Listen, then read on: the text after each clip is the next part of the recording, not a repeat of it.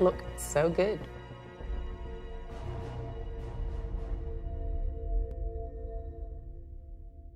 The whole derelict process started last year. You probably remember the demo that we done at Gamescom. You saw a, a staff area in a kind of a derelict state. Um, we also then took that information or that, that, that kind of data, should we say, and, and started to kind of prototype using the same geometry on Planet. So the, the R&D process was kind of done mid last year. It's kind of exponentially grown from there. So initially, the sort of task that was given to us was to create these derelict sites. And at the beginning, it was sort of more of a technical challenge where we were just trying to break the ship apart. But then I think gradually over time, the more we started to delve into it, the more the possibilities of what could be done with it was just sort of growing and growing in scope. So by the end of it, we were thinking things like inhabited like space sites, sites that have been taken over by bandits. You could be set up as decoys for potential enemies that could be kind of waiting there for, for players to then sort of jump into and then surprise them. And the more we thought about it, the more it sort of grew and the more ideas that sort of came about from it. So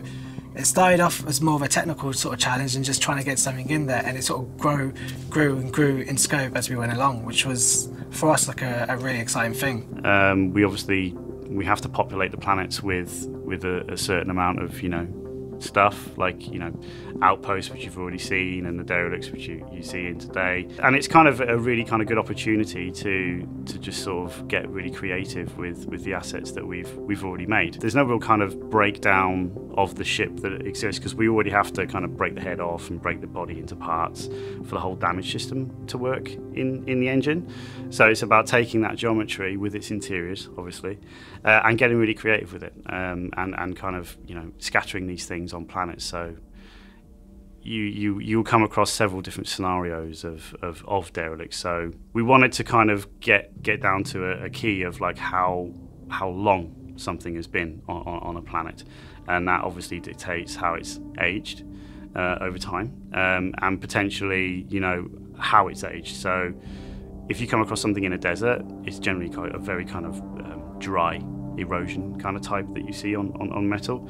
If you come across something in the snow, it's completely different. If you come across something in a swamp, it's completely different again. So we have all this information that we need to kind of make work uh, on, on these assets with as little human input as possible, should we say. So we had to be very kind of clever with the shader setup to work in different biomes efficiently. It all really comes down to how big the ship is and how the interior was um, laid out.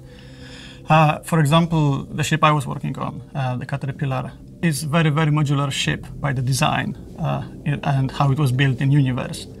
So I was allowed to go actually quite big with how many modules I could use for it. Uh, and that allowed me to create as many um, uh, different scenarios and sets from just two small pieces to the almost full uh, complete ship uh, laid on the ground. But if it comes down to smaller ships like Freelancer, uh, we pretty much resolved um, resolved it by just using the existing damage and just spicing it up a little bit because obviously uh, when you don't have explosions, when you don't have uh, all the uh, fire uh, fireworks, and it's just on the planet and you can go there and study and can come up come up close to it, you kind of need to put a little bit more detail, detail into it. With these derelict sites, we kind of wanted to give the player a point on a planet or somewhere in the universe which gave them a destination. And we didn't want the destination to be simply just some pieces on the floor. So for us, we wanted to explore the, the idea of these derelict sites being a character within, within themselves. So when you approach a derelict site, you could then, just by looking at it, seeing what it offered, whether it's hostile, whether it's something that was a severe crash, whether it's a place that's been taken over by bandits. And so with that, we wanted to create these these these little pockets in space where players could go and feel like they were part of like history and there was a bit of story behind them and a bit of growth behind them. And for, for, for us, it was it was a great opportunity. For sure, if a ship has kind of been laid to rest, should we say, in a desert, then it then it does kind of almost kind of mold in with the sand uh, in a certain direction. So you can get very kind of creative with how that kind of merges in with different terrain types for sure. Um, but also you can go complete other spectrum, like what are you going to do if you, you find something in a lake? What are you going to do if you find something hanging off the edge of a waterfall?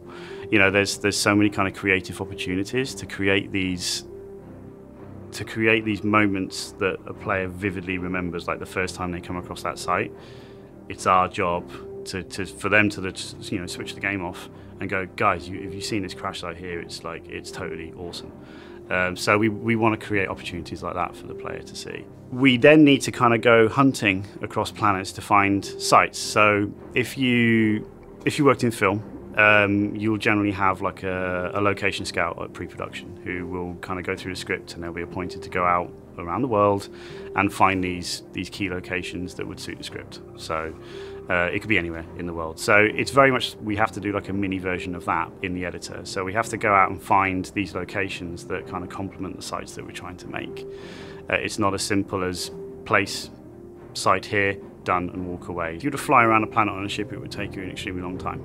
Right, so you'd have staff sat there all day flying their ships, just going, "Oh, I think down there look nice and great." I'm sure they'd love it, but the fact remains we can't do that. So in the editor, we can just kind of essentially warp speed around these planets, locate sites, locate valleys, you know, and you just, it's really interesting that a certain site may look a certain way at a certain time of day, but when that planet rotates and the sunset kicks in, it's a completely different animal. Um, so we have to kind of, you know, you think about that as well. And the habitation side of things, like we, we, we want to get into sun goes down, lights go on you know, there's all these kind of cycles that we need to think about. Maybe a campfire lights up. There's all these kind of things that add so much more than just a, a derelict lump of metal in, in, in the middle of nowhere. You, you want to also have enough room so you can place your derelict in such a way that the light just goes exactly where you want it. So it's like a nice glancing or nice kind of uh, complementing light on the derelict itself, which further kind of intensifies the effect. It's interesting because the, you know it's it's almost you're doing exactly what they're doing in real life, um, to, and and kind of you're setting this scene up to be hopefully beautiful when the player player comes across it. When players sort of navigating around, they might just see a sneak peek of a little bit of a Starfarer or a little bit of of a, a Gladius or, or, whichever ship that may that may be, and suddenly it's, it's it becomes an intriguing point, and then suddenly you're lured into this location that you never imagined. And I think it's moments like that which just add to the whole universe where you never expect to come across something, and suddenly you find something which just tells a tale in the story when we come to work on a derelict site and how we approach it, we sort of have to use our own imagination and kind of come up with our own scenarios of what could have possibly happened in this crash site, what could potentially have developed over time with, with a crash site, because it might just be an initial crash, but then over time, different factions might have taken it over, so uh, they might have all left a little trace of history. And for us, there's no there's no written law in any of this. It's kind of up to us to just go a bit sort of wild with our imagination, sort of really, really push it. And it's it's great for us as an artist because it's a bit different from just a sterile ship. We saw with these derelict ships, it was a way to take the existing assets and do so much more with them. The first part of the process, obviously, we kind of built we build off the stuff that we done last year. Um, the shader setup that we done just kind of wouldn't work anymore um, for the way the planets work. So the second layer on a ship's shader needs to inherit what the biome is, right? So there's always going to be metal, but then that second layer could be snow, it could be sand, so it, it, harmoniously blends with the terrain, right? It doesn't look like it's just been stuck on. Then it's a case of really kind of understanding what you're trying to do with the site. So as we've worked and the guys have kind of worked on this stuff, we've been going, oh, you know what would be really cool? Like, you know, could we could we set up a little base here where someone's kind of taken the husk of, or you know, the hull of a, a cutlass, and they've created a little hacking pod out of it. That instantly transforms that ship into being something completely different, and it's it's a makeshift home for someone.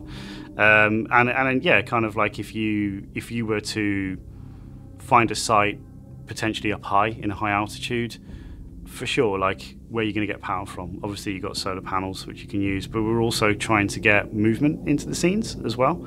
Um, so rather than these kind of static sites, just putting some windmill fans, generating a bit of power, you know, a few aerials wisping in the wind.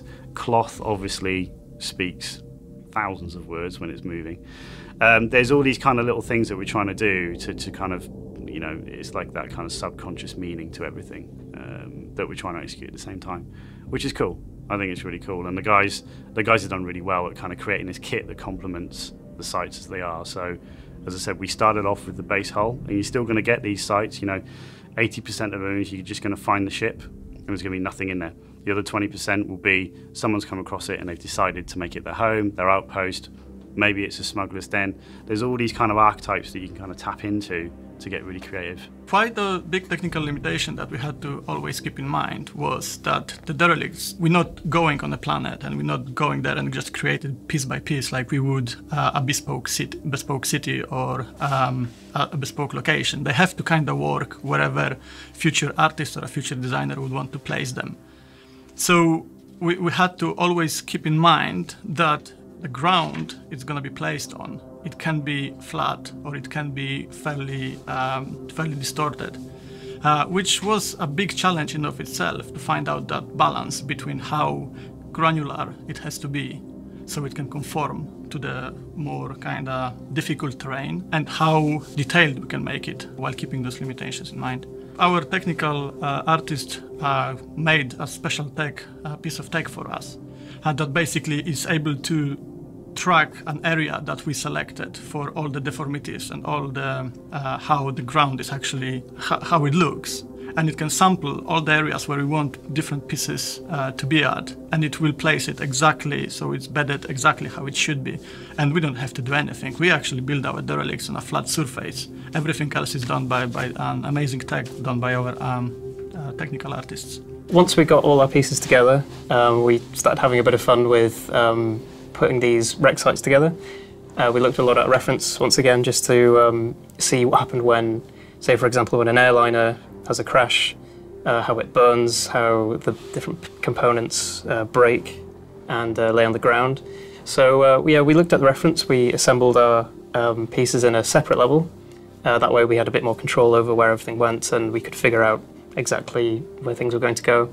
And then it was just a case of packaging that together um, exporting it onto the planet, and then essentially figuring out how it aligned with the planet.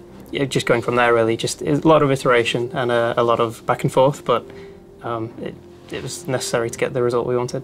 There's the whole kind of design side of things. So these these they're not just there for show. Design obviously have an input in in what goes in them. You know, are they mission? Are they a mission waypoint? Um, and then and then you know once once other systems start coming online, of course, like you may come across a site and it may be massively hostile, you know. And what intrigues me, and I kind of think I touched on it last year in, in an interview I'd done with Jared, um, he was talking to me about like, you know, what were you thinking? And I'm just like, well, I think in multiplayer map mode. So I'm just like, okay, there's a Starfarer here. There's kind of a map in itself, but now I've got the luxury of kind of spreading that map around a kilometre square if I need to. But then you create these things of high risk and high reward. Um, so there may be kind of like one turret that's working, right? Um, you, you capture that turret, you, you, you all of a sudden become like a game objective in yourself. So it's just it's just like I say, you just look for opportunities with this. We, we're creating the ultimate sandbox basically. So you, you look for opportunities to, to make the most of that. I was responsible uh, for uh, breaking apart the Caterpillar, which is that big transport ship that can have um, a custom length, uh, which was quite a difficult um, challenge uh, on its own because if you look at the Starfarer, for example, every Starfarer looks exactly the same. Caterpillar can have two cargo modules or can have 15 of them, the, uh, the, way, it was, the way it was built. So I had to kind of, either I or any artist in the future that will be working on this ship and creating new scenarios can build pretty much whatever he wants and however, uh, and is not restricted by uh, just doing like a five module one. So myself, I was in put in charge of the Starfarer, which was probably one of the more easier one of the ships, purely with the fact that it was kind of confined to just a few elements in terms of the ship overall. Where some ships there were many parts and many different combinations, such as such as the uh, Caterpillar. The the the Starfarer itself was just essentially five pieces, which I sort of had to work on and work on the materials so that they blended with the the correct planet. But for me, it was it was quite fun to do because of the scale of it. as soon as you place it on a planet, it just adds so much scope to walk to wherever you are. And, it, and, and with the interior, you've got a vast sort of structure which makes sense as a ship, but then as soon as you make it a derelict site, you've got a lot of opportunity to sort of take that interior and do do like a, a, a quite a vast range of, of things with it in terms of making it like either housing or, or or like some sort of security den where there's some hidden hidden like scavenge or, or like loot within. I think what's really interesting is when you have these wreck sites on the ground, they're transformed in terms of their character. I think it's it's getting quite eerie actually. Uh, looking at something, say for example, the constellation. You know, it's quite a sleek, modern, you know, advanced piece of technology. It's flying around. It's great, and then it's growing. You know, crashes on the ground, and it's nothing. you know, it's just a shell. It's a husk. Um, but what we really, what we really tried to get into the um, uh, the character of the, the wreck sites is just how varied they are. You know, they could be, for example, have people lived in them? Have creatures lived in them? Uh, how exactly did it crash? What caused it to happen? There are little things we can add to these crash sites which give them a lot of character and a lot of depth. And I think um, that's what's been really fun for me, um, just seeing if the players can figure out exactly you know what happened. Even if it may not necessarily be a mission objective, it, you know, having that interest I think certainly helps build the universe.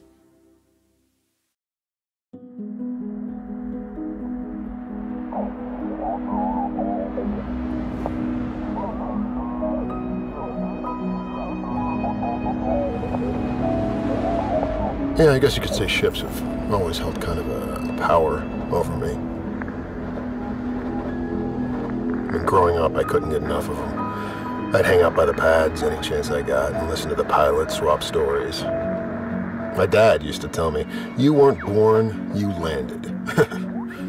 but yeah, there was always something about them.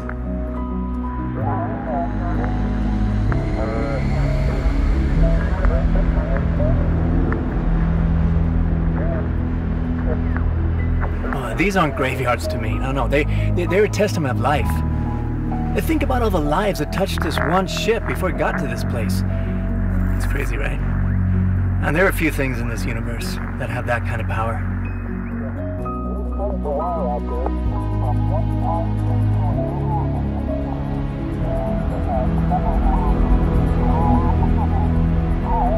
To me, it always comes down to the people who flew it the modifications that they made to make it theirs. I mean, we could find 10 Connie wrecks, and even though the layout's going to be the same, every single one of them is going to be different.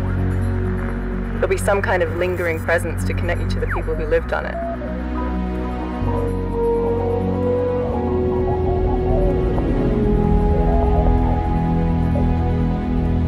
When I look at a ship, I see a person. Now, I know when, when people find these wrecks, all they see are mounds of scrap or a payday or whatever, but to me, maybe it was just growing up on a dusty rock, but a ship was freedom.